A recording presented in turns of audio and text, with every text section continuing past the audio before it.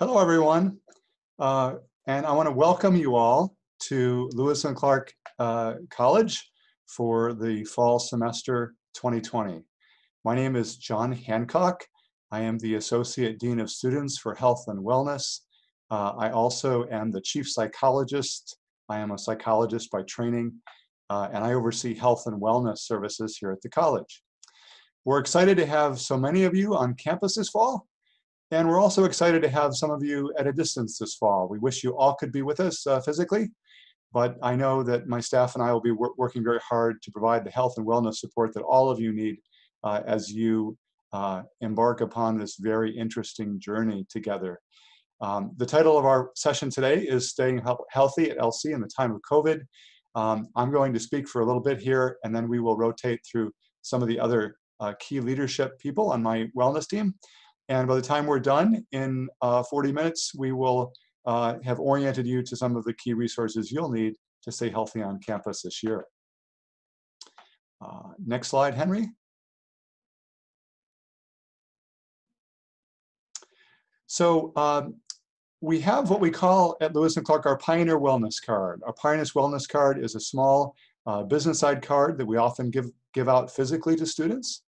Um, uh, in this year, because we really don't want to be uh, passing around uh, physical things any more than needed, we've created a virtual Pioneer Wellness Card.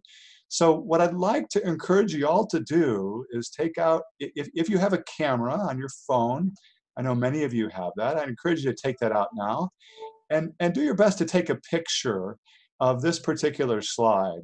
Now all these slides will be available on our website after today's program, but this is your virtual Pioneer Wellness Card. Uh, this slide shows you the different resources that are available to you during daytime hours for your health and for your safety. Um, and, uh, and so I'm going to give you a second to just uh, um, take a picture of the slide. As we talk today, uh, different of the speakers here will be talking about different of these resources. So we'll call, cover these resources uh, in detail. Uh, but I want you to get a picture of this for your phone because that way, anytime uh, you need a resource, all you need to do is open your pictures on your phone and you can find the picture of that resource. Um, and Henry, if you'd advance the slide, um, on this particular slide, we talk about after hours and off-campus resources. So we're really proud of the after hours support we provide Lewis and Clark. Uh, for example, there's campus safety emergency on here, that's 24-7. Uh, whenever the health service is closed, we have a nurse line. Whenever the counseling service is closed, we have a crisis counseling service. And there are some other resources as well. So please take a picture of this on your phone as well. Uh, I'm hoping that uh, taking pictures of slides with your phones online will work. Uh, it worked on mine when I tested it just a little bit ago. Uh, and then you'll have this for your future reference. I did want to say one thing about call us, calling campus safety. If, should you ever experience an emergency this year, and we certainly hope you don't, but if you ever do, um, uh, when an ambulance responds to campus, uh, sometimes they don't know. Uh, campus can be kind of a little bit confusing for people who aren't familiar with it and where all the buildings are. So what we recommend is that uh, if you have an emergency on campus and you need emergency medical support, please call campus safety first at that 768 7777 number. Uh, and then they will call 911. Now, if you get in a situation where seconds count and you really feel like you need to call 911 first, that's okay. But be sure you call campus safety immediately afterwards because they can be the ones guiding uh, any emergency medical services to you on campus, okay? So that's just a good thing to remember uh, as we head into the year. So hopefully you've taken pictures of that. And Henry, if you'd advance to the next slide.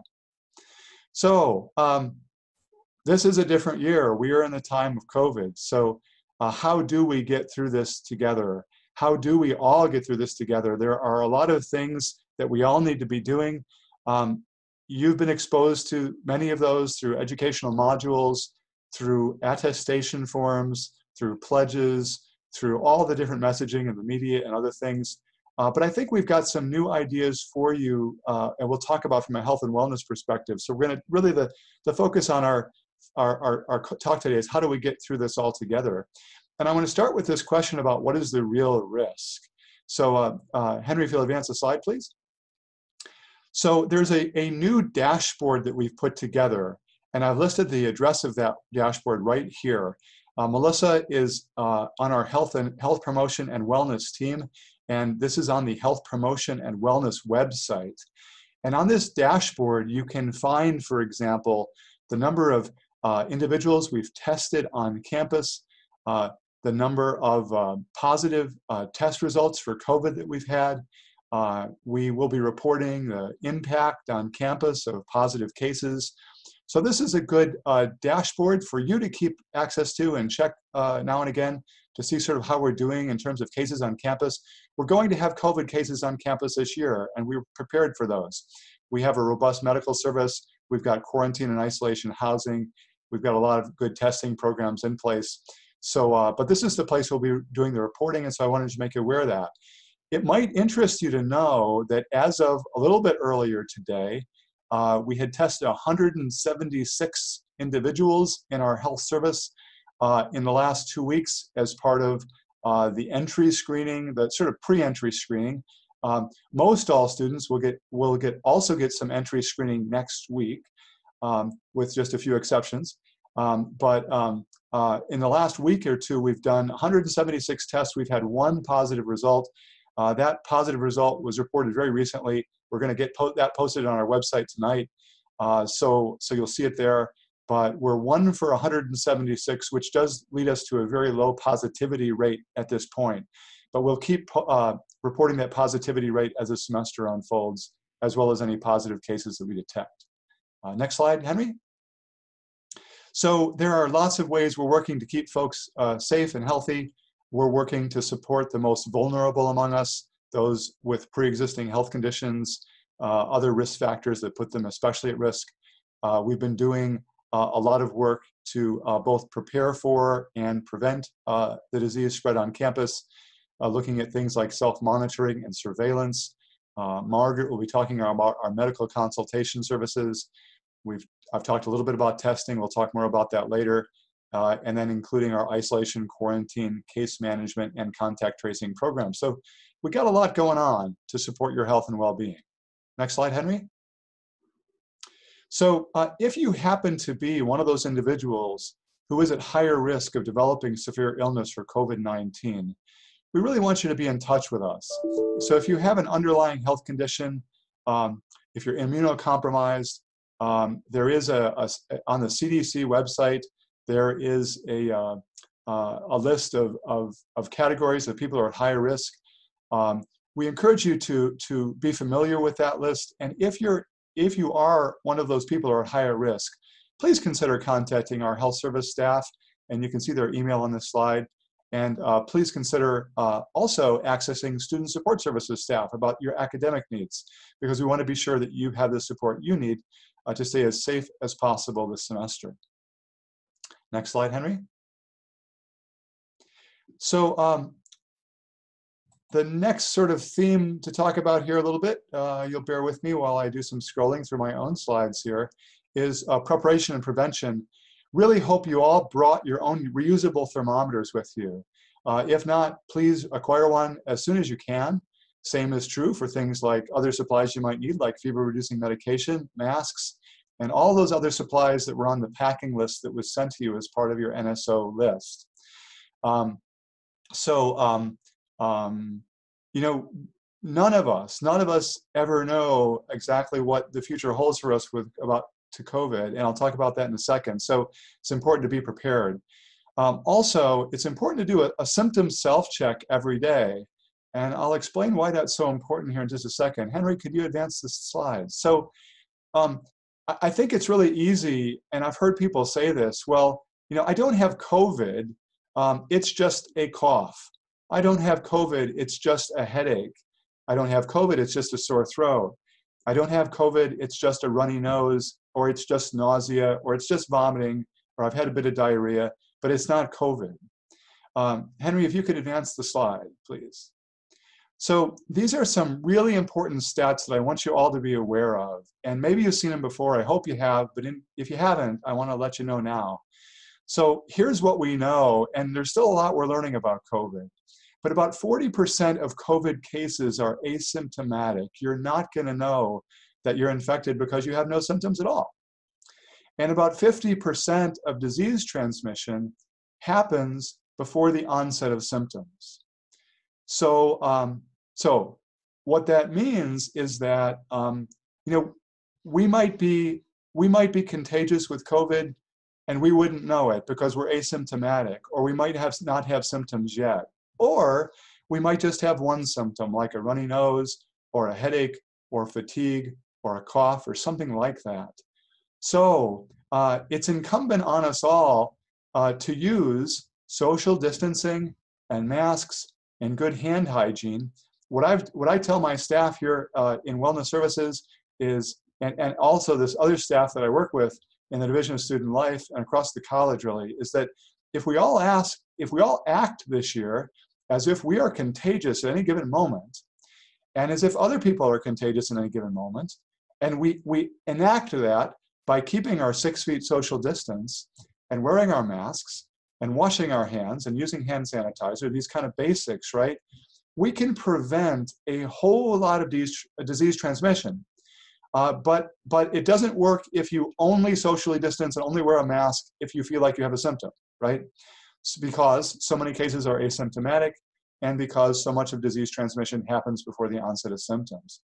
So know those symptoms, do your self check within yourself every morning, take your temperature every morning, uh, and if you're feeling any symptom, uh, any, any, any symptoms at all, uh, then that's the time for self isolation. I also want to make a comment on this slide about testing. Um, there's a lot of testing out there. We're going to have a lot of testing on this uh, testing at, at Lewis and Clark this year. Testing is imperfect. Uh, there are false negatives from testing. There are false positives from testing. So uh, false positive be a case there where you know the test says you're positive when you're not. There are even higher rates uh, of false negatives. So the test says you're negative when you're not. So we can't rely entirely on testing. Um, and, and we'll talk more about that as the slides go on here. But uh, uh, we want to use those, uh, those good measures like social distancing is the key, right, with masks and hand washing. If you ever develop symptoms this year, here's what we want to do. Uh, if you develop symptoms, we want you to follow the guidelines on the health promotion website for self-isolation. And there's some really good guidance there. We want you to stay in your room. We want you to report your symptoms on the SCARF form. I'll talk about that in just a minute. Most of you have already, have already filled that out, um, I'm guessing, as part of your check into campus. Uh, within the SCARF form, you can have uh, meals delivered to your room. Uh, that's a, link that's embedded in the SCARF form. Um, when you go out of your room, certainly okay to go out of your room to use the bathroom. We want you to mask up, uh, keep your six feet distance at all times, and we want you to get medical consultation uh, via the health service during working hours or from our after hours nurse line after hours.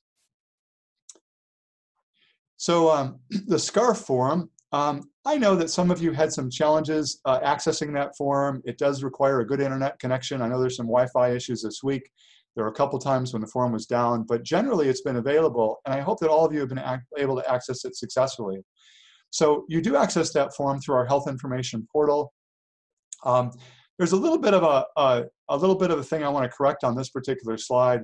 So it says we want you to encourage to log your status there each day.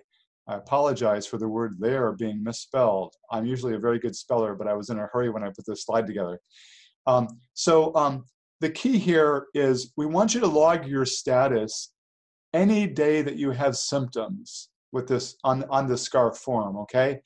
Um, if you're not having any symptoms, you don't need to log in every day and report that you're having no symptoms.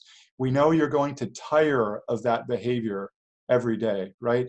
So it's not necessary that you go in once you've kind of you know uh, been granted access to campus.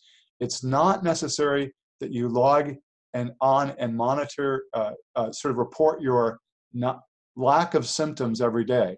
However, if you have any symptoms or if you suspect you've been exposed. We absolutely want you to use the SCARF form to report that. That will trigger some staff reaching out to you. And again, that SCARF form is a tool for requesting meal delivery and other support. Next slide, Henry. Uh, we're going to have testing on campus uh, this year. We're going to have testing for symptomatic students. That symptomatic student uh, testing is going to happen in our on-campus health service. We always want students who are symptomatic to call the health service first. Uh, the current turnaround is about one to two business days uh, for this sort of testing. Uh, and um, we do have rapid, te rapid testing equipment on order. Once that is in place with us, uh, and we're still waiting on that, uh, you know, we hope to offer same day results on testing, but we're not quite there yet. I do want to let folks know that with the rapid testing, even once it's available to us, um, the rapid testing equipment has a, um, a false negative rate that is a little bit on the high side for what we would like. And so if you come into the health service, once we have the rapid testing in, equipment in place, and if you get a negative, and you have a symptom, because we're testing you because you're symptomatic, and you get a false negative, if you get a negative, um, a negative result from the, the rapid testing equipment, we're still going to want you to stay self-isolated until we can get a PCR test on you because that testing will be more definitive that we can trust the negative results. And we are so committed to having uh, all of you healthy and to all of you not spreading any illness on our campus this year that we won't be relying entirely on the rapid testing equipment when it gets an, a negative result. But if it results in a positive result, then we'll help you get uh, into isolation housing as soon as possible. Um, there are also off-campus testing resources for symptomatic individuals. Uh, those resources are available on the Health Service website. There's a COVID resources tab you can access. Uh, and, and if you should ever be diagnosed um, you know, via off-campus testing, maybe you've gone off-campus testing, you've had a positive result, we want you uh, reporting that result through the SCARF form, that form I just described, as soon as possible on weekdays, and then reporting it to campus safety on weekends and then staff will be in touch with you as we can. Next slide, Henry. Uh, so we're also going to be doing asymptomatic testing. Why? Well, because as I said, about 40% of students who, 40% uh, of individuals uh, who are positive for COVID are asymptomatic. So we will be doing asymptomatic over the course of the semester, um, asymptomatic, excuse me, testing over the course of the semester. We've done some of that in the last two weeks, and we're going to be doing asympt uh, testing of asymptomatic students next week in a big way. Nearly all students will be tested. Look for communication about next week's testing program coming soon. Next slide, Henry. So I want to say uh, a few words about quarantine. Uh, do be ready for it. We know we're going to have some positive cases. Uh, the best thing you can be ready for quarantine this year uh, my, my comments on this slide, the, the sort of uh, slang term I've, I've developed here is don't queue up your friends. So when a person tests positive for COVID, we, the county will actually initiate contact tracing procedures. And we have some supplemental contact tracing that we'll be hearing, doing here at Lewis and Clark. Now, if we determine that some, a student has stayed uh, within six feet of a, of a positive case for 15 minutes or more, right, then that is the threshold for going into quarantine. So the way to keep, you know, and since you never know when you might have COVID because you could be asymptomatic, right? The way to not get any of your friends in quarantine, if you will, is to always maintain the six feet distance. Or if you break that six, six feet of distance down, you know, only do it for less than 15 minute intervals, okay? Uh, and that's the way you can be uh, on the safe side in terms of transmitting. And similarly, if you can keep that six feet distance from your friends, uh, and, and if you're going to break the six feet distance, do it for uh, less than 15 minutes, um, then that's the way that you're not going to get sort of queued up by your friends in terms of needing to go into quarantine. We want to keep our quarantine numbers down. It's no fun to get into quarantine. If you wind up in quarantine, uh, the, the, the protocols currently are that you need to be in quarantine for 14 days because it can take 14 days for you to show up as positive. So we don't want anyone to wind up in quarantine this year. Of course, we know some people will, but we ask you to keep that social distance um, and, uh, and so, so that neither you nor any of your friends uh, uh, get quarantined. If you do wind up in quarantine, we do ask you, or, or if you know, if you uh, really all this year, we ask you to answer your phone if it rings because it could be a contact tracer trying to reach you because maybe one of your friends tested positive and they think they spent you know quite a bit of time with you and and we're looking out for you and so we're trying to connect with you. Please also be honest with the contact tracers that reach out to you because if you know i know it, there can be a temptation to, to not report things because you know you don't want to go in quarantine, don't want your friends to get in quarantine, but only by being honest can we um, can we really stop the spread of this illness, and that's what we're committed to doing this year. So uh, we'd appreciate your answering the phone over the course of the semester. Next slide, Henry. And that's all I'm going to say. I'm going to turn it over to Melissa Osmond, who heads our Health Promotion Wellness Office. Melissa.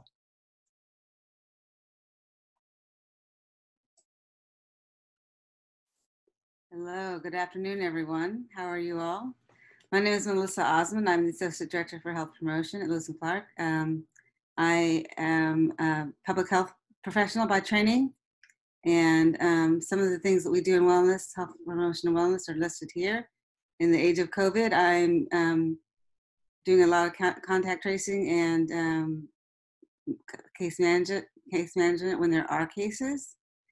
We also this year will have a, program with public health ambassadors with, with current students who will serve to help us promote healthy behaviors like wearing your mask, washing your hands, um, they'll be able to answer questions about some of our of our ex- behavioral expectations, and um, also added to that, we are anticipating that they will be um, helping us to spread the message about how to be safe um, when you can't be um, can't maintain distances uh, we, uh, my office also um, spearheads sexual and interpersonal violence prevention and response. We have a group of trained advocates on campus who are confidential for anybody who's experienced um, interpersonal violence and um, and or friends that may have experienced that. We are confidential resources. And I think most of you by now have heard of Everfi. Uh, I can't see your reactions when, when I do this program live. I see some nods usually and sometimes some eye rolling, but um, this is a very important ed- education modules and um, our office um, administers them. And if you have any questions or concerns about those modules, please contact me. I know some of you have emailed me and I haven't gotten back to you. I will. Um, just running a little bit behind. We also do health education workshops and trainings with students. Um, we got a grant to do bystander intervention workshops and um, sexual health workshops. So we'll be doing more of those this this coming fall.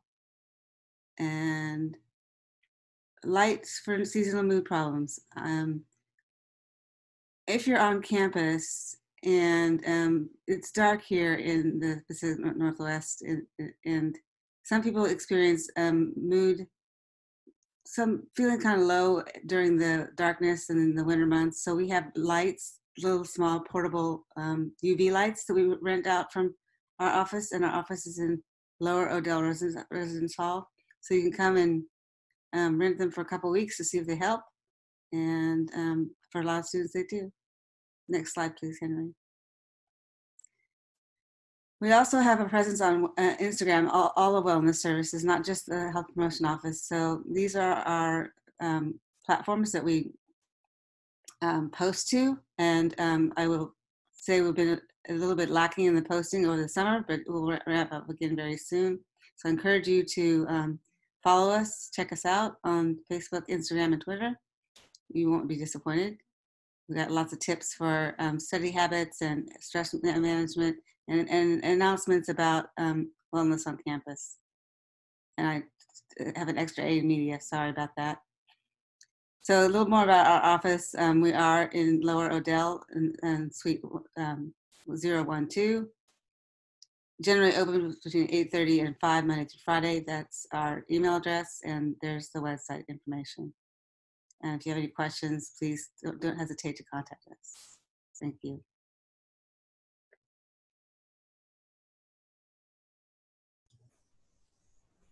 Hello, everyone. I'm Margaret Upton. I'm the Director of Health Service. And yes, in the time of COVID, health service is functioning a little bit differently. But I wanted to let you know about our services in general and some of the changes that COVID has had us adapt to. Um, just to let you know, our services are confidential and they're open to all students. It doesn't matter what insurance you have. Um, there are no fees for provider visits, um, but if you have procedures, there can be a charge. We typically bill those to your student account, but we give you um, a ticket so that you can submit it to your insurance. And we'll explain that when you come in. Um, so typically we evaluate and treat illnesses in, and injuries of all kinds. We function kind of as a, a primary care provider here on campus. We do physical exams, usually athletic, well woman, travel exams. However, you'll see there, I have on hold. Basically, we're trying to um, minimize well services in um, and do mainly telehealth services through our clinic. We will resume those um, services and if you need things related to wellness exams, we will um, work with you on that. Um, we do have laboratory services here on campus, not just for COVID.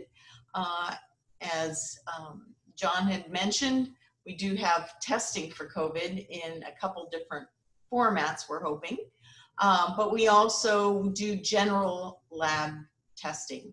Um, we can do that based on your doctor's um, orders from home and send the results back there. We just need an order from your provider. Typically, we do administer allergy injections. Um, we will be doing that, but um, that may be a few weeks down the road. There's a process for that, and there is a fee for allergy injection um, on a routine basis. We will have flu shot clinics, and I encourage everybody to get their flu shot this year, whether you get it here, whether you get it at a pharmacy. We will be having an outside vendor come on site too for flu shots, so there's multiple ways you will get that. But that's going to be important because differentiating the flu from COVID is something, um, if you've gotten your shot, it may not show up as COVID um, or thinking COVID. Um, prescriptions, we do have a small pharmacy here on campus for some things, and we also e-prescribe to pharmacies that are local, such as Fred Meyer's, Safeway, we can go to CVS, wherever. Um, we also do travel consultations, and right now they're on hold. Um, we're not sure what travel will be like in the spring. If um, programs go out, we will have those available for students, but right now we're not doing those. Um, vaccinations, we do have MMR, HPV, meningitis, we have some other vaccines as well, tetanus. Um, so I know all of you needed to complete your um, immunization uh, with MMR. And if you haven't done that, just to let you know, uh, early in September, there'll be a hold on your registration for spring semester if we don't have those. So get those in. Um, we do do STI screenings um, on campus. We refer outside to specialists as well. Uh, next slide, please.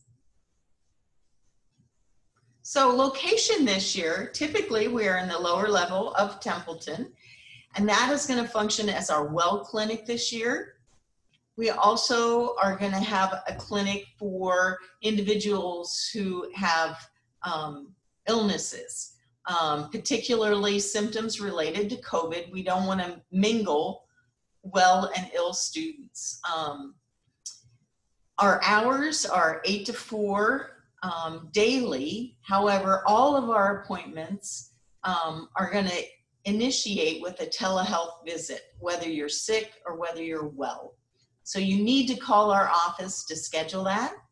Um, if it is deemed in the telehealth visit that you need an in-person visit, we'll schedule a second appointment for you. Um, as John said, we do have the nurse crisis um, and after hours consultation line. And there is the website for health service. Next slide. Okay. So my name is Michelle Curtin, and I'm one of the staff members at the counseling service. Um, and the counseling service um, is um, basically like the mental health service of the campus. Um, we are actually located right next door to the health service, but we are going to be doing all of our appointments remotely um, during this time. So one of the things to keep in mind is if you would like to visit with us, I would encourage you to please give us a call at 503-768-7160 or just send us an email so that you can ask to schedule a first appointment or just to ask questions about our services. That's the way to basically make contact with us um, rather than actually coming to our physical location. We're going to ask that you call or email as your way to make your initiation um, or outreach to us. What we do is we offer short-term counseling. Um, students often go through a number of mental health um, issues throughout their lives. Actually, all of us do. So we are a good resource if you're having issues, for instance, related to depression, anxiety, maybe eating concerns, um, maybe you're going through something traumatic, um, you have family problems or problems with friends. It could be a host of all sorts of different types of issues that result in you feeling emotionally just not yourself and not well. Also, if you feel that you are really um, in a dark place, let's say related to severe depression or maybe having thoughts about hurting yourself or hurting someone else, we would definitely encourage you to reach out to us to get some help. We also offer referrals um, to other places on campus as well as into the community. Um, we consult with students and with staff and faculty as well, and we offer workshops. Our hours are Monday through Friday, 8.30 to 4 p.m. Generally, we're closed at from 12 to 1, but our appointments take place between 8.30 and 4.30. The way that we will have those appointments um, is through um, basically video appointments. It's, um, there's a platform known as Zoom for healthcare, and that's how we will be having our appointments with our um, our clients or with our students. Um, and the way to initiate all of that would be to call or to email us, and then we'll walk you through what you need to do to be able to get a link to have those appointments. If you call us, it turns out um, usually you'll get a hold of someone if you call during our open hours. If someone is not available, please leave us a message um, and leave a number that we can reach you back at, and we will call you back. If you feel that you need to talk to someone right away, especially if you're in urgent um, need of talking to someone or you feel unsafe, we're going to ask for you to call our um, crisis counseling service, which is available after hours, but they're also available during the day so that you can talk to someone right away. Um, we will respond to your voicemail message as soon as we can. But if you're needing to talk to someone right away and you get a voicemail, feel free to call the after hours number. Um, our services are free except for no-show appointments. And then um, we do have um, some psychiatric appointments available and they have a small charge that's associated with them. But generally your appointments are free. Um, I did take a quick scan into the Q&A and I noticed that someone wanted to know about our services in terms of charges and in general, all of the appointments are free except for no-shows and those psychiatric appointments. And the way we generally work is um, that you would give us a call, send us an email, and then we would set up a way to communicate with you through video. So I hope that answers that question. But just let us know, email in or call us, and we can answer questions more in detail. Um, we offer brief short-term counseling, which means most students come in for about four appointments or so, four to six appointments. If you know right off the bat that you're gonna need more or extensive services, we'll help you get connected to a referral off campus so that you can have some consistency in who you see over time so that you can see someone for longer term than what we can provide. I would encourage everyone to check out our website. So we've listed that there on the slide. And then also we've listed um, the website that you would go to to actually fill out some of our paperwork so that you can get things rolling in terms of having an appointment.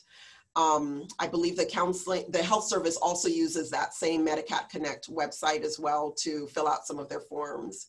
And then I'll leave you with our after hours number, which is 503-265-7804 as a way to reach out to someone after we're closed or if you're not able to get a hold of us during the day. So now I'm going to turn it over to John. Next slide, please. Thank you, Michelle. So um, I wanted to um, uh, also talk about the Office of Case Management, which actually isn't part of wellness services, but is a very important component of supporting the health of students. So um, we have a, a, case manager. Her name is Amy. Uh, and you can see the hours um, that Amy is here during the week. Uh, her services are also free.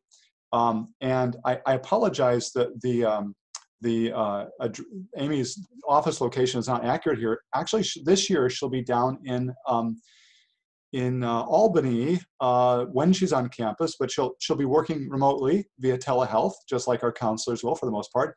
Amy's focus in the Office of Case Management is helping students find referrals. So I noticed there was a question in the online chat about um, can online students have access to a counselor?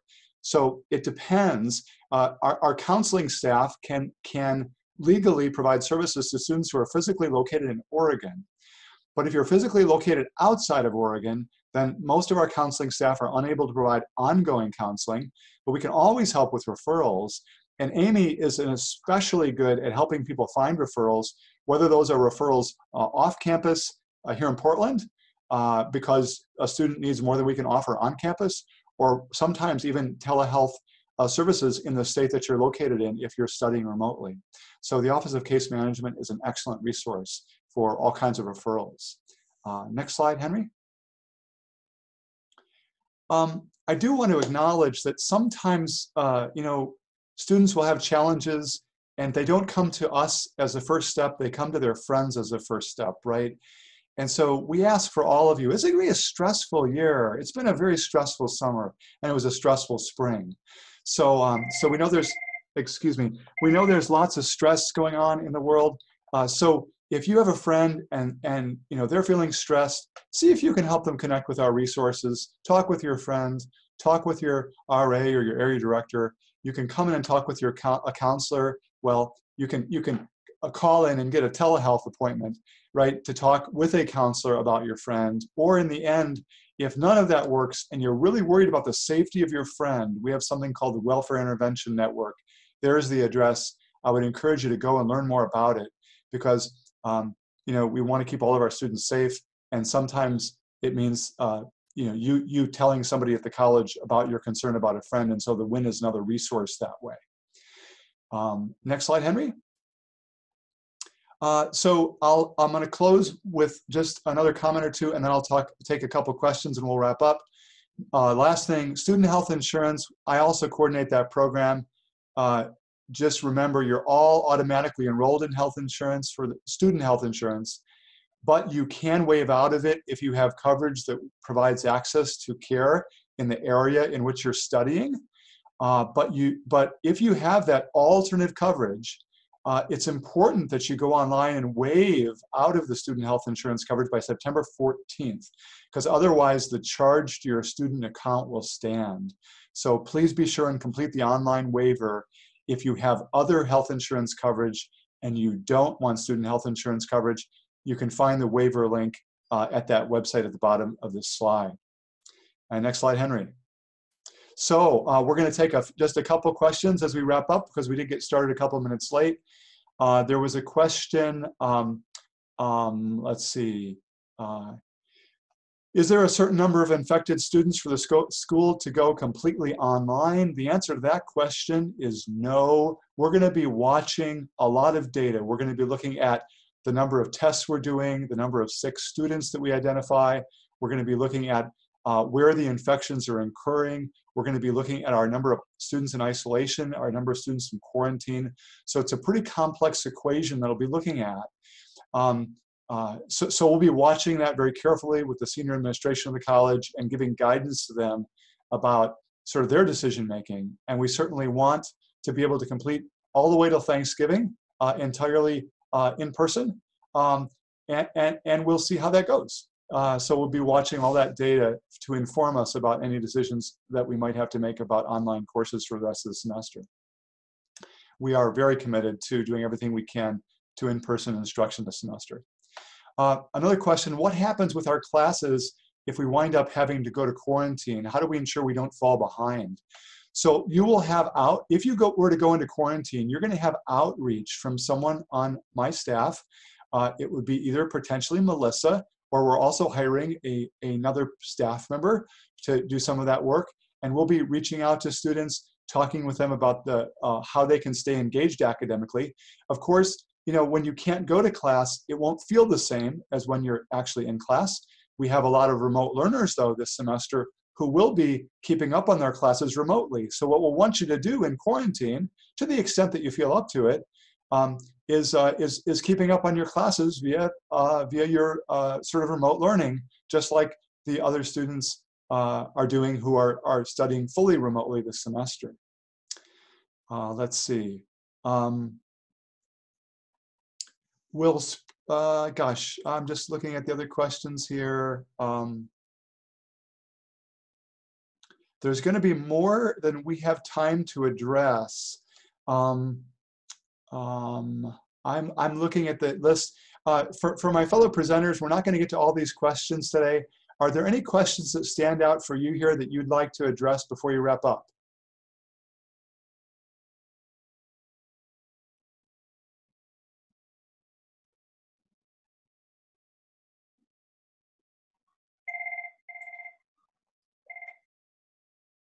Okay, well, I'm not hearing anything from any of them.